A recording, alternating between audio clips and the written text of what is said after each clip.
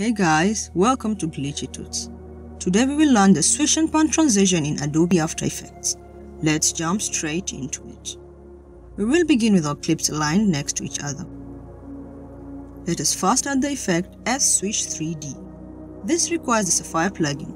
I will link it below if you don't have it, so you may download it. Also, don't forget to enable the motion blur. We will start with the transition for the first clip. Move the playhead one frame before the end of the clip. There are so many different values in this effect, but you need not worry. You only need to change a few. First, let's start by setting swivel to 60.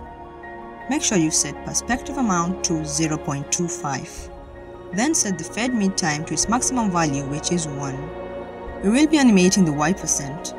Click on the stopwatch to add a keyframe. You wanna move 15 frames back, then add another keyframe.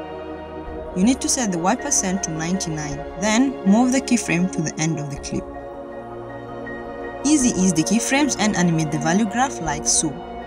Copy and paste the effect into the second clip. Add time reverse to the keyframes for Y percent by right-clicking on the keyframes, then navigate to Keyframe Assistant and select Time Reverse. Change swivel from 60 all the way to negative 60 and make sure your graph is all good. This is how the transition will look. You may have to adjust some settings to improve the final look. For example, reducing the Y percent on both clips from 99 to 90. This will make your transition a little less harsh.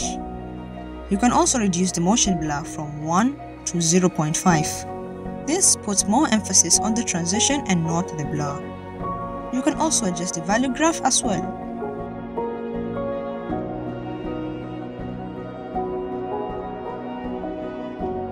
There are several versions of this transition, and these are done by moving the center XY location. If the first clip has the center on the right, then the second clip should have the center on the left.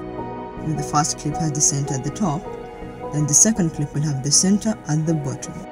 And now that we've come to an end, I just wanna say thank you for watching and spending your time trying to learn from my channel. Don't forget to like and subscribe and enable notifications so that you don't miss any updates. That being said, I will see you guys in the next video.